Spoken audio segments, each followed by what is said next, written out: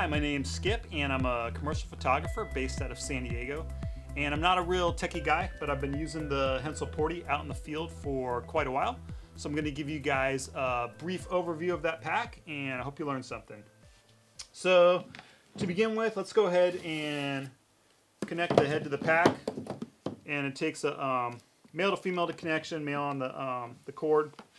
You've got a white dot. I don't know if you can see that from the overhead view right there. And then a um, white dot right here.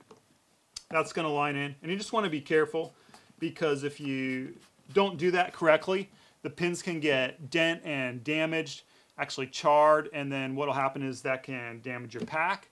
But not only that, if you then take that charred cable and connect it to a good pack, it can damage that one as well and just start spreading like a cancer. So Watch your pins, don't bend them. If they do get bent, you can straighten it out with a pair of pliers. Uh, but just put it in the right way. And then just make sure it's threaded down all the way. And on the head, it's a bayonet system, so you've got three prongs that are just going to grab on. These guys are great. I've mounted a large, extra large box to these, and you just lock these in and they'll be able to hold the weight no problem.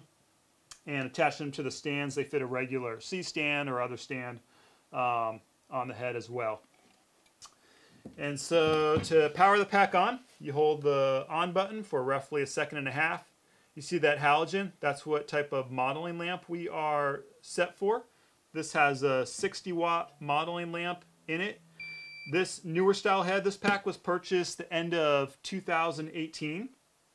And so you can also um, take the battery out and put in an AC adapter drawer, which will allow you to plug the pack into the wall, but it'll also allow you to put a 300 watt modeling lamp in here and get a stronger continuous light. But if, if you try to put that lamp in with the battery, it's just gonna give you a low glow and not work. So you gotta use the 60 watt lamp for the battery uh, setup.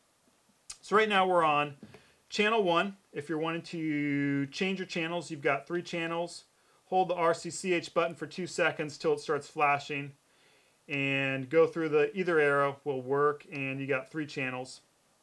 They've also got a technique in here called free mask. There's three free mask channels and I've never used the free mask but my understanding of how it works is the camera takes two quick shots, one for the background, one for the main, making the subject dark and then you can go in post-production and do an easier clip out with it.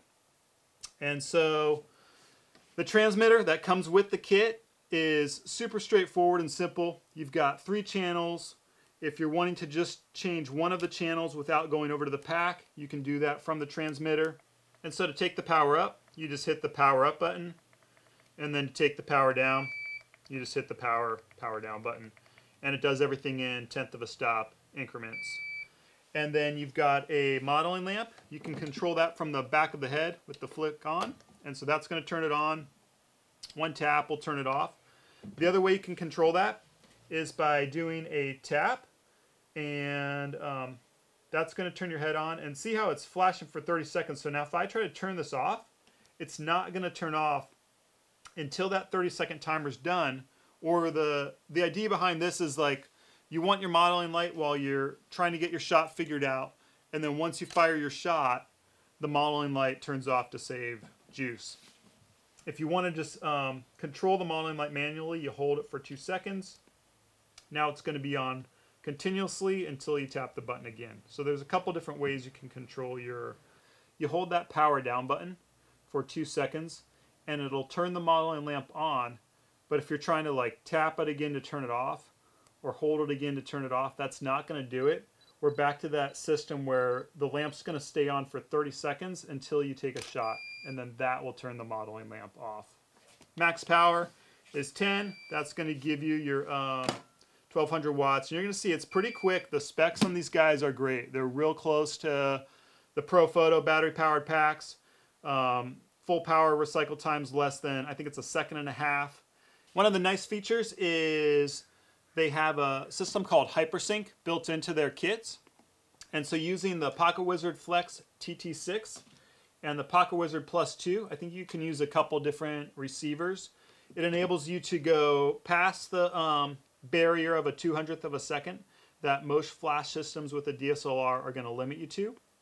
and this will enable you to freeze action. The way the, the hypersync works is it's not getting the full burst of the 1200 watts, it's catching the peak of it. And high speed sync, the way I understand that works is it's a whole bunch of small little flashes. And so that's even less power than this is gonna give you. And either way, you gotta bring your light in um, as close as you can to your subject to, to use it and make it work. But um, I've shot some stuff outside, freezing action for soccer. Shot some stuff in the studio, freezing action. And so using the setup definitely works. I've got an X on here. That doesn't mean it's broken. I just I never use the B side. It only gives me 600 watts. So that's just to let my assistants know you want to plug into the full power 1200 watt side. Over here you got two fuse boxes. I've never pulled these fuses out and changed them. But um, I guess maybe they do at some point blow and they do give you a free fuse. This is the slave eye. Slave's on if you're not wanting to use the slave and just use the built-in receiver. That works great, I think up to like 100 feet. You can also use pocket wizards with these guys. And so the male just goes into the female for the sync. To go and should fire. And you'll see it like when you're down at low power, four is your bottom. I mean, this thing's just going to be like lightning fast on the recycle time. It's just really quick. A couple other things I want to show you on this pack to um, change your settings. If you hold these two inner arrows and you wait till it starts flashing, this tells you the time of when my pack's going to time out.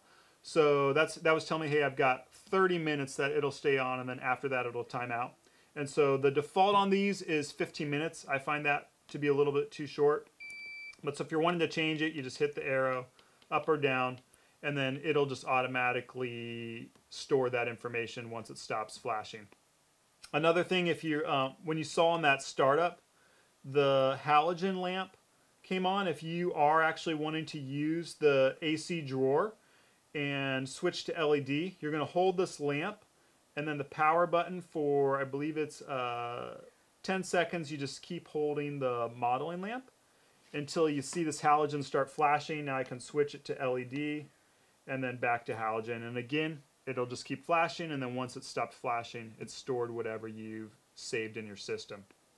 If you need to do a firmware update, they've got a port right here and it takes an old printer cable. You just plug that into the port. This side's a USB side, plug that into your computer. Go to the Hensel website, you'll find their um, download software and that's the way you can, it's pretty simple. They'll walk you through how to do a firmware update on your um, Hensel pack if that's needed. For the battery drawer, you see this down arrow.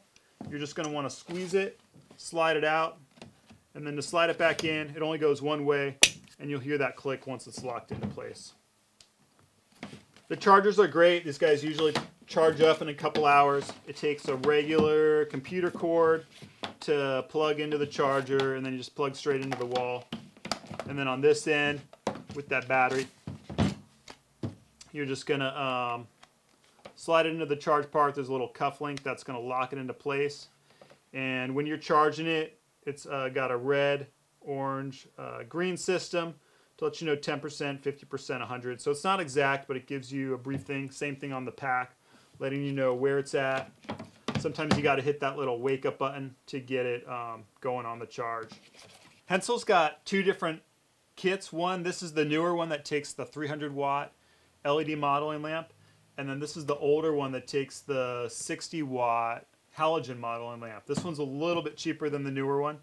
And you have to be careful because you can't mix and match the, the cords and the heads. What'll happen is, is if you take, um, you know, if you take this cord and use it with this head, you're, it's not going to fire and you're going to get an Error 4.